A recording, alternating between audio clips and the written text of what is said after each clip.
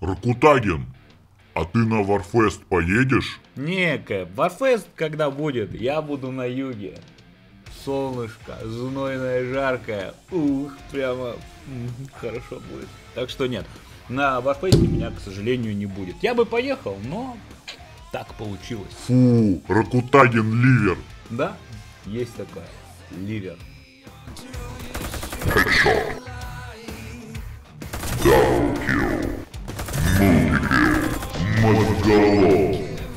Кинокомпания «Не та кнопка» и Мозголом Productions представляют Синдром тараканов или как бороться с ливерами. Headshot, детка, you was owned. А, хорошо. Благодарю, Кэп. Тихо. Отдыхай. Приветствую вас, леди джентльмены, другие подруги. С вами Морти, капитан Очевидность, и сегодня Ракутагер в очередной раз будет вещать мудрые вещи или не очень. Посмотрим, как вам понравится хедшот, малыш. Но перед этим, по нашей доброй традиции, отличненький анекдот. Анекдот такой. Сейчас я возьму его в ротик и буду отсасывать. Петрович, ты задолбал. Быстрее отсасывай бензин и поехали. Да. Петрович, как всегда, не подражаем. Круто. Мне нравятся анекдоты про Петровича. Они душевные, я считаю. Вот. И кто-то, как всегда, напишет, что они не душевные, но, впрочем, всем насрать. Да, именно так. Играем мы с Валом, играем мы на ангаре. Любимом, в кавычках, в моем ангаре. Да. В общем, вы знаете, как я к ангару и нефтебазе отношусь. Кроме... О, ноги! Вот это вот такие моменты, да, они позволяют даже ангар полюбить, почему бы и нет. Поговорим сегодня про ливеров. Больная тема. И ангар одна из тех карт, где их много. Но, впрочем, в командном бою это не важно. На самом деле, чем меньше нас, тем больше противников, тем лучше. Но есть одно маленькое но, и даже не маленькое, я вам скажу. С введением наград за первую победу дня у нас ливеров стало просто тонна в Warface. Ливают везде, ливают чуть ли не все, ливают постоянно. Что с этим делать? Ну-ка, вот так, детка, давай, давай, мозголом! Да. смотри-ка, Ракутагин в какой-то веке разошелся.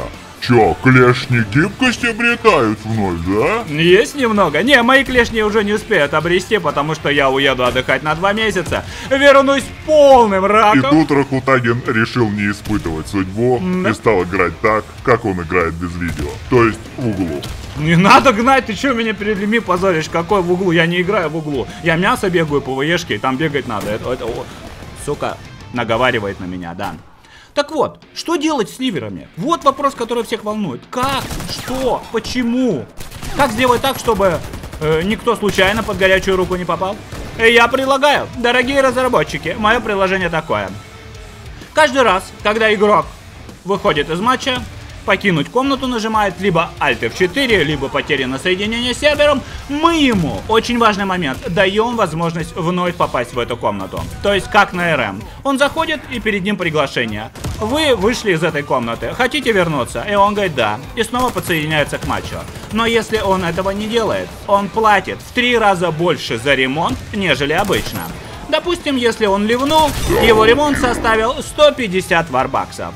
Если он зашел, соответственно, после этого бой продолжается, все нормально, никаких штрафов к нему нет. Но если он ливнул капитально и заходить в эту комнату больше не собирается, его ремонт составит 450 варбаксов. Что это дает? А очень просто. Это, с одной стороны, положит конец ли- ливерам, потому что ли- людям невыгодно будет ливать как-то бонусы за первую победу дня что-то как-то не очень перекроют такой высокий ремонт. Это с одной стороны, да? Вот А- он, фарм Ракутагина. Зажим. Не, Ну, Да, может, да, да, зажимают, но еще посмотрим, кто тут больше нафармится, они или мы. В всяком случае, я на них точно сейчас нафармлюсь. И с другой стороны, это такой метод позволит людям, которые вылетают случайно, у них проблемы с интернетом и так далее, снова вернуться в матч. И все. То есть от этого никто не пострадает. Кто-то позвонил, отошел, я не знаю, там э, потеряно соединение с сервером, ты можешь снова зайти и продолжить, и никаких штрафов тебе не будет. Зато ливеры вынуждены будут играть. Либо уж если действительно тебя бомбануло, ну у всех бывает, у меня тоже бывает, заходишь в комнату, Игра не идет, видео, а видео надо быстро снять, я могу выйти из комнаты. Ну, вышел и все, как бы, ну ничего страшного. Я заплачу эти 450 барбаксов, хрен с ними.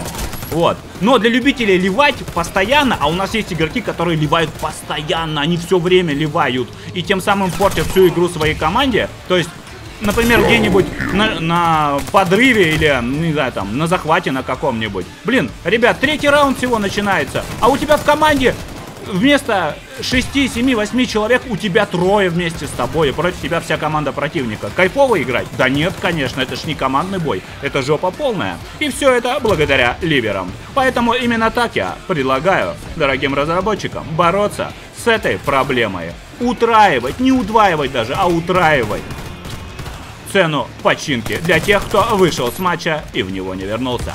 Мне кажется, это великолепный способ дать людям понять, что если ты в команде, то будь добр.